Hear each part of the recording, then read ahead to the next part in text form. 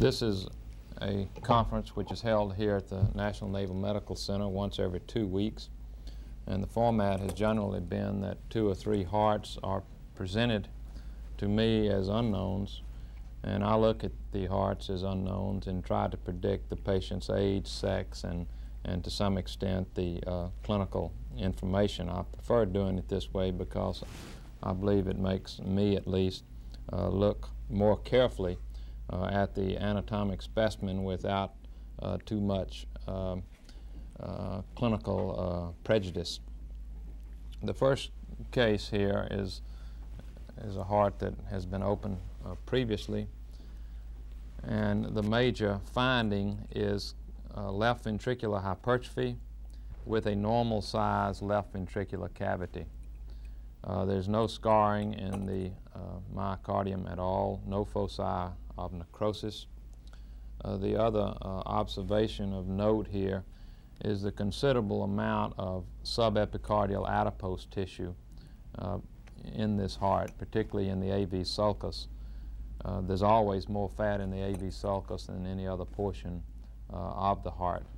Uh, in this particular specimen, there's also some fat visible, however, on the endocardium here in uh, right atrium, uh, for example, and and probably in some areas of right ventricular endocardium, although I don't see that right off the bat. Uh, the coronary arteries contain uh, quite a few atherosclerotic plaques. I think the left circumflex at any rate is greater than 75% narrowed. Uh, probably also um, uh, the left anterior descending. So I do think that this uh, patient did have, uh, uh, was likely uh, died as a result of coronary atherosclerosis. I haven't gone over these coronaries extremely carefully, but, but every five millimeter segment contains atherosclerotic plaque. And I think that at least two of the three major coronary arteries are greater than 75% narrowed. Uh, the uh, thickening of the wall here makes me believe that this patient uh, had systemic hypertension. Uh, the, the general extent, the general appearance of this heart makes me believe that this was a relatively young person. I would say a man about uh, uh, 40. there is some plaquing in the ascending aorta uh, quite a bit. That's not, you can't see that on uh, film. And whenever I see a uh, quite a bit of yellow atherosclerotic plaquing in ascending aorta, uh, at least I think of type 2 hyperlipoproteinemia. I think there's no question now that patients with type 2 hyperlipoproteinemia have more atherosclerosis in ascending aorta than do persons with uh, other types of hyperlipoproteinemia and those individuals with normal lipoprotein patterns. So I would think this patient either died suddenly, uh, and this was this patient's first coronary event. It's certainly conceivable that this uh, individual, who I predict would be a man, uh, ha had previous angina pectoris. But usually in angina there is some scarring somewhere in myocardium, either pap muscles or other portions of LV free wall. Whereas in this uh, heart, I don't see any scarring at all. That makes me suspect that this was a sudden cardiac death, and the sudden uh, coronary death was the first manifestation or the first coronary event in this particular person. The other thing which is uh, conceivable is that this patient did not die from a cardiovascular event, a cardiac event at all, but died of a stroke. Uh, patients with systemic hypertension without dilatation of the left ventricular cavity, in other words, that do not have congestive heart failure, uh, this is a setup also for them to die of stroke.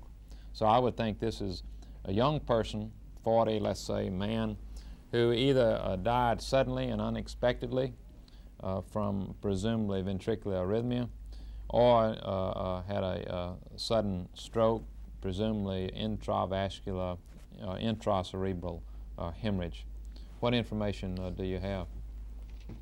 Well, indeed, this was a 42-year-old male who was apparently in good health until noon on 19th of November 1974 when he developed the sudden onset of a left hemiparesis, a left hemi anesthesia, and later on a severe headache.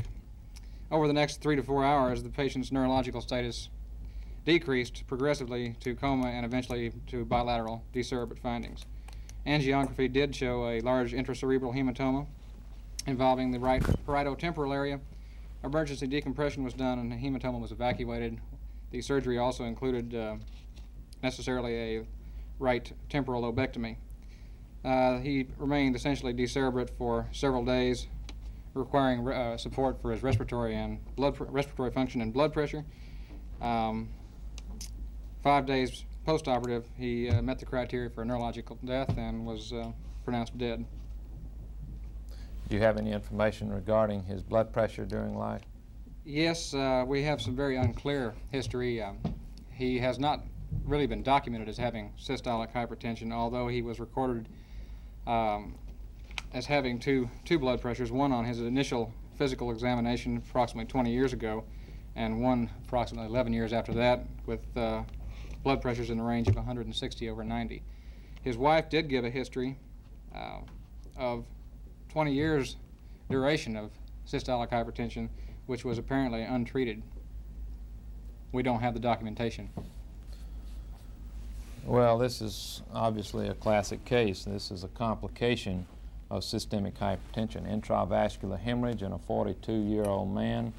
Uh, if you can rule out trauma, uh, is almost always a hypertensive catastrophe. If we did away with hypertension, we would do away with the majority of strokes in this country.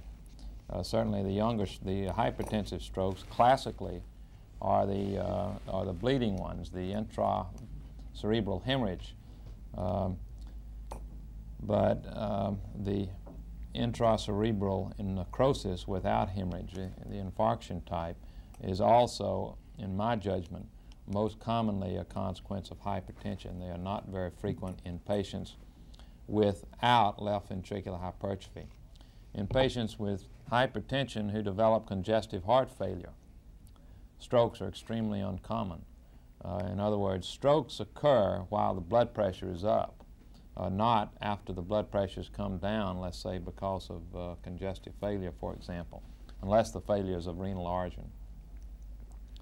Uh, good myocardium, vigorous heart, death from a stroke. The, the blood pressures, I mean the blood vessels are not, are made for a certain blood pressure, and when it gets over that, complications occur. Any man who has a blood pressure at age 20 or at age 30 uh, of 160 over 90 should be treated. Or that man is going to end up in a situation like this. Either a stroke or a sudden cardiac death or angina or myocardial infarction uh, the greatest risk factor of all in, in, the, in the world that we live in, in the country that we live in, is hypertension.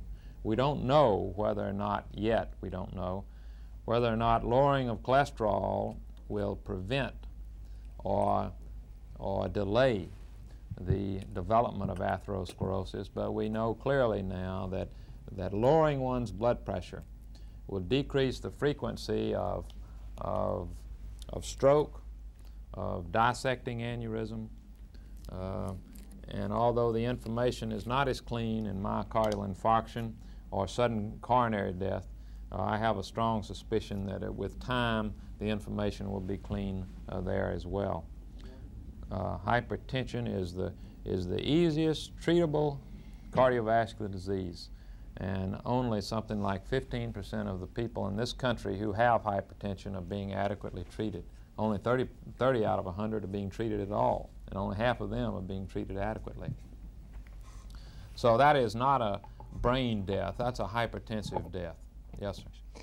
Uh, for the benefit of some of the residents here and those probably viewing this uh, videotape, what um, criteria uh, do you prefer when we when we diagnose a hypertensive heart? Uh, there was some discussion over this at the Gross conference today, and um, I personally felt did not feel this was really that uh, marked of a hypertensive heart.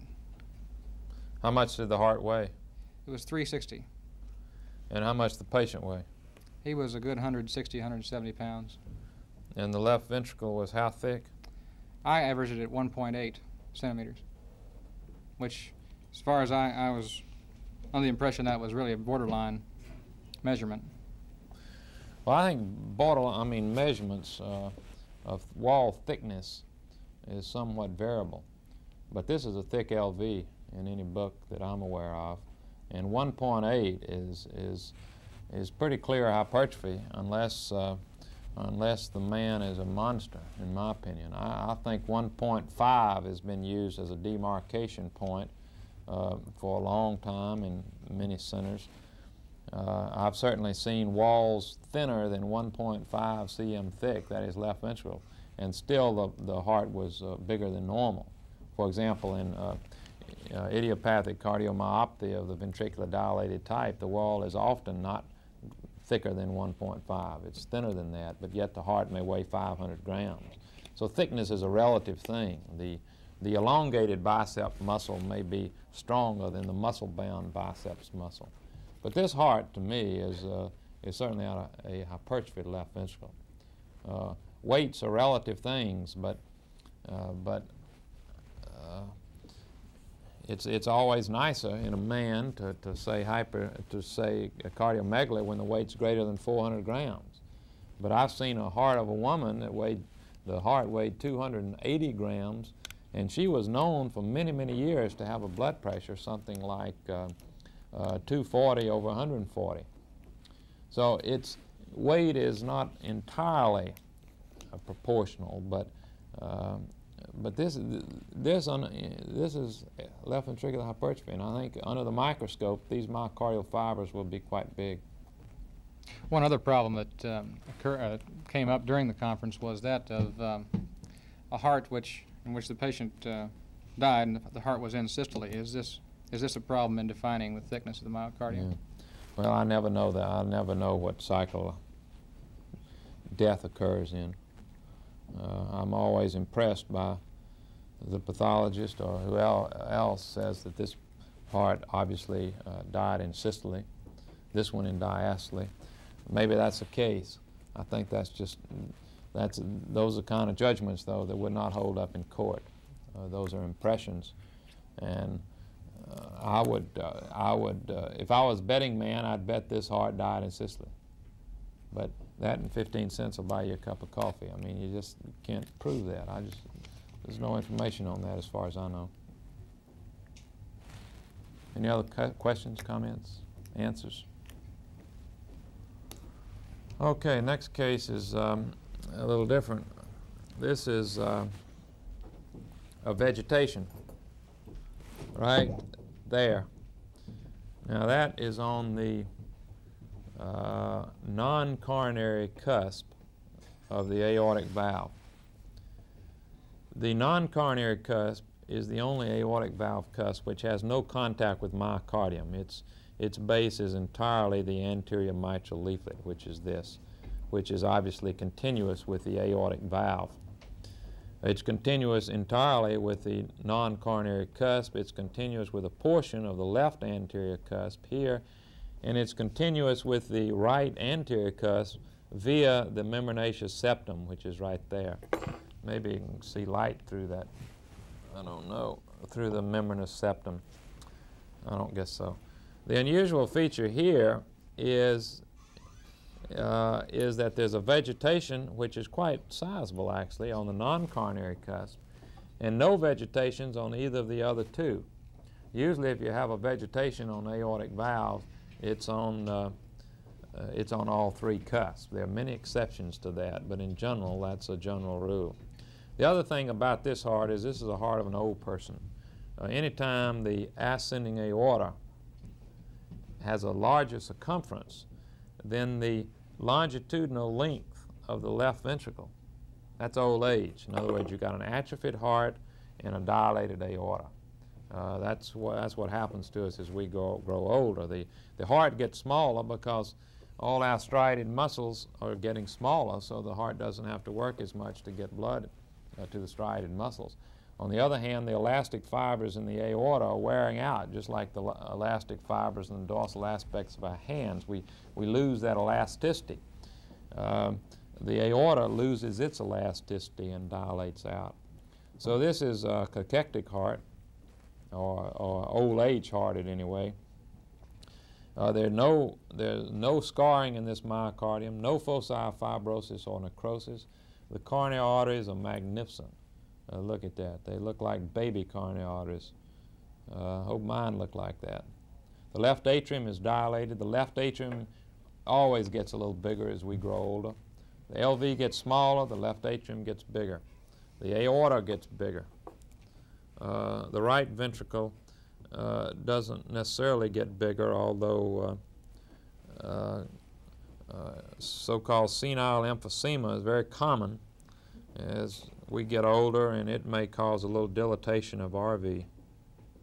Actually, there's a vegetation, I don't think I can demonstrate this, on one of the pulmonic valve cusps right here. So that's a vegetation on the right side, also on the aortic valve. Better check this tricuspid valve. Tricuspid valve is okay. The mitral valve is okay. Quite a bit of fat on this heart, very yellowish fat. Uh, I would wonder if this patient had not, look at all that fat, this covers the RV completely. I would wonder if this patient had not been treated with steroids, corticosteroids during life. That's a lot of fat for an older individual. Uh, we all get more fat as we grow older, but uh, this, is, this is an excess amount. And there's no question, there's quite a bit of fat here at the, at the LV apex, this sort of apical fat pad. Uh, I'd say this is an individual that's 80 years of age uh, that had maybe uh, uh, uh, lymphoma or leukemia or something like that and was treated with corticosteroids or cancer of the prostate or something like that. Uh, and then as a terminal event, developed this uh, endocarditis. Now, I would predict this to be non-infective, particularly since it's on the pulmonic and aortic valve. There's a little one on the aortic valve. So I would put this in the category of non-infective uh, endocarditis. Another na other names that have been used for that is so-called marantic endocarditis. I don't like that term because I've seen it in a 17-year-old, and that's not, marantic means old age. Uh, so that doesn't necessarily follow. Uh, some people have used the term non-bacterial thrombotic endocarditis. I don't like that term particularly because uh, fungal endocarditis could still be in there. Uh, but at any rate, uh, this is not an uncommon observation at necropsy. It is uncommon to see it on pulmonic valve and aortic. It's uncommon to see it just on one of the three cusps. The coronaries are clean, the muscle looks good, there's a lot of fat. I don't think this patient died of a coronary death, of a, of a heart death. I would think that it was a non-cardiac, and I, I would uh, predict off the cuff it was lymphoma or something like that, and I would be strongly suspicious that maybe this patient was treated with corticosteroids during life. This was a 63-year-old uh, white woman whose major 63, huh? Whose major disease was uh, chronic alcoholism with subsequent Laennec's cirrhosis, and indeed she died in hepatic encephalopathy and hepatorenal syndrome after about a four-month illness in the hospital. The uh, the interesting thing in her past history that really brings this heart to this conference is the fact that at, at age uh, 20, back in the uh, early 30s, she allegedly had an episode of uh, subacute bacterial endocarditis secondary to uh, uh, leg vein thrombophlebitis. And really at Gross Conference, we were wondering whether this might be an old sequelae of that, of that event. What, this vegetation on the aortic valve? Oh, I think that's recent. I would bet that's recent. I don't see any healed lesions anywhere on valves. Was she obese? No, it's not at not at autopsy. She was uh, really cachectic. Only weighed about 85 pounds, and at least 20 pounds of that was ascitic fluid. Oh my goodness! Well, how do you explain all the fat? Was she treated with corticosteroids at any time? N no, she was not treated at uh, corticosteroids at any time in the uh, in the past that, that we have history of. Uh, it's not really known what her uh, uh, pre-illness weight was exactly.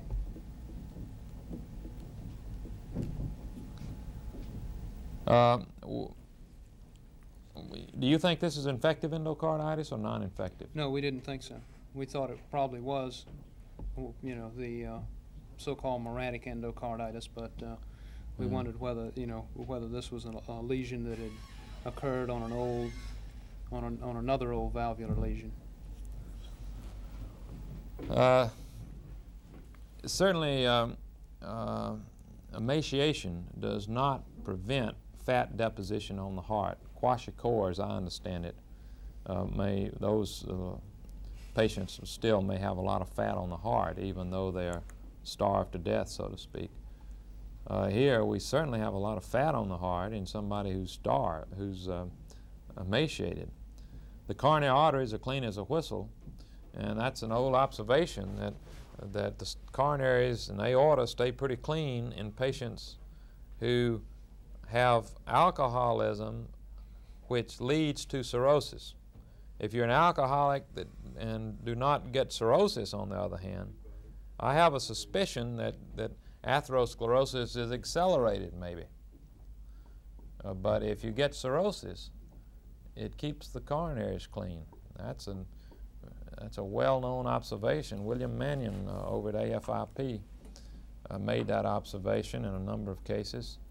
Uh, it seems to hold up, but why it is, uh, I don't know anyway. Anybody have any ideas? How about the role of uh, estrogens? You know, you- men get gynecomastia. Is there any evidence that suggests they play a role? I don't know. I'm not certain that if you give uh, animals estrogen, you, you produce atherosclerosis or yellow streaks or I mean, uh, other things in them. You prevent it. Uh, I mean prevent it. Uh, I don't know if that's been done. Put animals on a atherogenic diet and then at the same time maybe uh, give them estrogens. I don't know about that. It's actually pretty interesting. Well, this is common, but but still there's no explanation for this uh, non-infective endocarditis. It's commonly observed at necropsy. Occasionally, these things may break off, dislodge, and uh, lead to a stroke in a very debilitated person. Uh, that is uncommon, though. Do you want to dis- discuss this other pa- patient, uh, the young? Yeah, uh, I've been told a little bit about this next patient, so this one will not be observed entirely as an unknown, but maybe you can go ahead and give the history on this individual. This is a fairly involved history. This was a 32-year-old black female who was referred to um, the National Naval Medical Center from Fort Jackson, South Carolina, for consideration of aortocoronary bypass surgery. Her history uh, maintained that she had been in good health until the spring of 1974, when she first began experiencing nocturnal angina. In May 1974, she suffered a severe episode of this chest pain and was hospitalized in a civilian facility and apparently uh, suffered a cardiac arrest at this time. She recovered from this episode and uh, was discharged from the hospital. She continued to have nocturnal angina and was again hospitalized, this time with EKG evidence of an anterolateral myocardial infarction. Following discharge, she continued to experience chest pain and was referred to the Naval Hospital in Portsmouth, Virginia. She was treated prior to her transfer with nitrates and Inderal without significant relief. Anginal pain apparently continued during the hospitalization in Portsmouth, and she un- eventually underwent cardiac catheterization on 7 August 1974. This study showed hypokinesis of the anterior left ventricular wall with dyskinesis of the left ventricular apex. Coronary arteriography performed simultaneously demonstrated a normal main left coronary artery, a normal left circumflex coronary artery and only minimal luminal irregularity of the right coronary artery. However, the left anterior descending coronary artery was almost totally occluded. Uh, they estimated 90% at that time at the level of the first septal perforating branch. But the left circumflex and right were clean. That's correct. No lesions. That's correct. And the main left coronary itself was, was open. So single vessel disease. Correct. Single focal vessel disease. Following discharge uh, from the Portsmouth uh, Hospital in September, she continued to have increasingly severe chest pain, again, principally nocturnal, and variably relieved by nitroglycerin, and on several occasions she had experienced uh, chest pain which apparently continued through the night, unrelieved. It is of interest that uh, only about 20% of her chest pain, at least it was estimated from history, that 20% of her chest pain occurred with any activity during the day. Her family history was uh, very vague, but her father apparently died of a congestive heart failure from whatever cause. Her mother is living and is describing, described as having hypertension and diabetes, diabetes mellitus. There's no other family history in the siblings or close relatives consistent with premature coronary atherosclerosis. There is also no history of hypertension in this patient or any of her siblings. Physical examination, And no history of diabetes in this patient. that's correct. So this particular patient had no risk factors, is that right? Uh, Not entirely. Uh, were we just getting to that? She Oh, did I'm have, uh, in the Portsmouth admi- uh, hospital admission, she uh, had a serum li- lipoprotein electrophoresis, which at that time showed a type 2. I see. We uh, repeated that both um, pre-mortem and post-mortem on this patient, and it was uh, normal. The lipoprotein That's pattern correct. here? Correct. Do you have any, what were the cholesterol values done there? Do you have uh, I don't that have it with me information? Cholesterol here, the cholesterol values at Portsmouth, Yeah. I don't have those. Or here, what them. were they here? Here they were normals, all I know. I haven't got the, the uh, figures with me.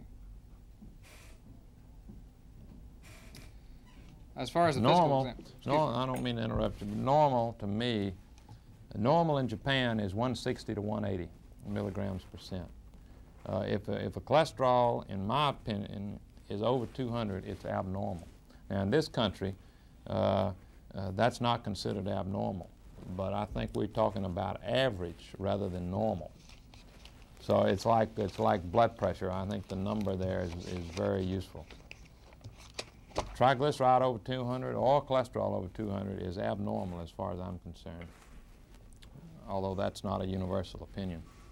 Go ahead, sorry. Well, as far as the pertinent physical findings, she, her blood pressure on admission was uh, within normal range and had been recorded in their, her several previous admissions as being normal.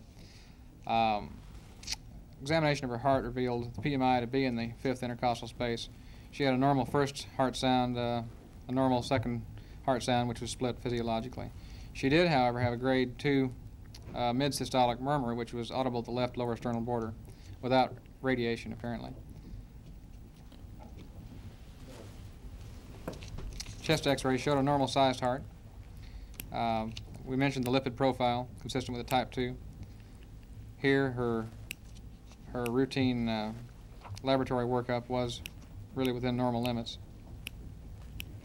Well, what we found at autopsy, this patient, I should say, give her a hospital course, I guess. The, uh, the patient did undergo uh, saphenous vein aortic coronary bypass. Um, flow rates were measured on the table at the time of surgery, and the peak flow was uh, estimated at 200 mils per minute, with a mean flow rate of 140 milliliters per minute. Her bypass time was 58 minutes. No complications were apparent during the procedure. However, difficulty, uh, no, no difficulty was was uh, seen in bringing her off the pump. She she re uh, defibrillated on her own, established normal cardiac rhythm on her own. However, as she was being transferred from the operating table to a, a transportation stretcher, she went into ventricular fibrillation. Uh, they reopened her chest. She was given cardiac massage, uh, multiple drug regimen, uh, multiple electrical defibrillation procedures, etc. Uh, she uh, underwent this uh, attempts at resuscitation for over six hours on the operating room or in the operating room. Finally, she uh, obtained a minimal acceptable cardiac output. I'm not sure what that really is, but she did get off the table and died approximately 15 minutes later in the uh, recovery room. Now, at autopsy, in spite of what the angiographic evidence was at Portsmouth, we found uh, near total occlusion of her right coronary artery. The rest of it you might describe to the, Wow. the audience. Yeah, I certainly agree with that, right. It's totally, virtually, severely occluded. Uh, but and, and the left circumflex the same way. Yes, it is. Left circumflex is also greater than uh, 90%. Uh, you can't see that on the camera. And then the uh, LAD, I can't see the total occlusion of LAD. Maybe, did you see it? Yes, I think I took it for section. Uh, yeah, it's very point. narrow, very proximally, yeah. Gosh, greater than 90% right, right as it comes off the left main. Then it becomes a very small artery. Uh, so that's very interesting. Uh, angiographically, only one, quote, one vessel disease, pathologically, three vessel disease, and the interval between the angio, or the coronary uh, injections, and death was what? Approximately three months. Three months. Uh, were those angios reviewed here? I haven't, have, haven't uh, heard from the radiologist or the cardiology department. They, they have been sent for, and they will be reviewed. The, um, one of the interesting notes uh, in her chart from Portsmouth was that during this uh, angiographic, or the catheterization, the cardiac catheterization and the angiographic procedure, she developed uh, tremendous problems with vas- or arteriospasm in her uh, right, apparently radial artery and brachial artery during the procedure, and they had to pass several catheters. Hmm. So As a result of this, uh, she had to undergo a plastic procedure for revascularization of her right arm. So I don't know whether this lady was actually prone to uh, arteriospasm for whatever reason, and maybe this uh, this occlusion could be possibly the result of the angiographic studies. Well, the, all three major coronary arteries are severely narrowed, and they're narrowed very proximally.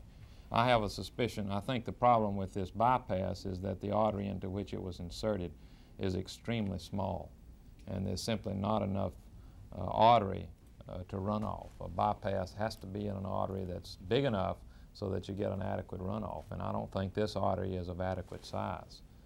Uh, whether it would have been a little more adequate size a little further down, uh, this is not, uh, uh, the, the insertion of the graft was not halfway down yet.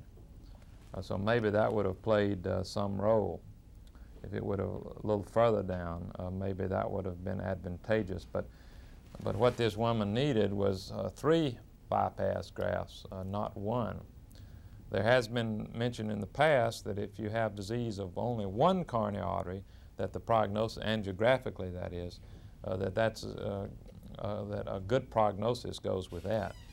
But I've also seen another patient who was only 31 that had an LV uh, coronary study done at age 21 and was that and at that time was said to have single vessel disease, also just the LAD. And at necropsy at eight, 10 years later, all three coronary arteries were severely narrowed, severely narrowed. Now, in retrospect, and looking back at the cines done at age 21 in that particular patient, on re-examination of those cines, they really should not have been interpreted as single vessel disease. And I have a suspicion that in this patient, the same will also hold true, that when those cines are re-examined, knowing that we're dealing with three vessel disease, that the observation of three vessel disease will also be made uh, radiographically. At least there, they, the other two will not be considered normal. Uh, so in essence, we have a 32-year-old woman who had the onset of ischemic chest pain only a few months before death, Uh, approximately nine months, actually. nine months before death. Uh, no history of hypertension. She was of ideal body weight or uh, She was uh, rather heavy, but she was not obese. Uh, her blood pressure was normal. She did have type 2 hyperlipoproteinemia at one study, and I think that uh, I would think that she was type 2 because this ascending aorta, I don't know whether you can see it or not, has an enormous amount of atherosclerotic plaquing in it. In addition to that, the aortic valve cusps are a little thicker than they ought to be for a 32-year-old woman. Uh, and type 2, at least if it's homozygous, homozygote type 2, that is both mother and father uh, have type 2 hyperlipoproteinemia, that's associated with atherosclerosis of the aortic valve cusps themselves and will lead actually to aortic stenosis. Now, this is a tremendous amount of atherosclerosis in ascending aorta for somebody 32. And I have a suspicion that she has more atherosclerosis in ascending aorta than she does in descending, uh, I mean, than in abdominal aorta. Uh, she, she certainly here has an old myocardial infarction and separating recent. If she underwent massage for six hours, it's very difficult to uh, uh, say that some of this uh, myocardial necrosis or hemorrhage is not traumatic in origin. But 32 years old, do we know? Do we know the type of her mother and father? No, we don't. It's possible that she was homozygote, but that uh, would be very unlikely. It's extremely rare for a homozygote to live 32 years. Most of them die before age 15. But this is a very interesting case, and no question angios are underread. Would you have any comment on her symptoms, the nocturnal angina at rest? I don't know. I believe people have have uh, said that that occurs with the severest degrees of coronary disease. Uh, uh, the more, if, if angina occurs at rest, the more likely the, you're dealing with extensive three-vessel disease, but I don't have any uh, direct information on that.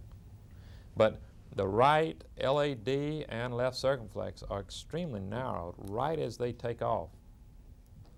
So this is very proximal uh, narrowing here. Well, these are uh, comments, uh, other questions on this case? She was not diabetic.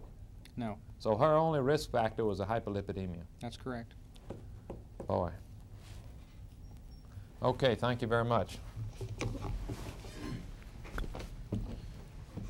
That's a fantastic case.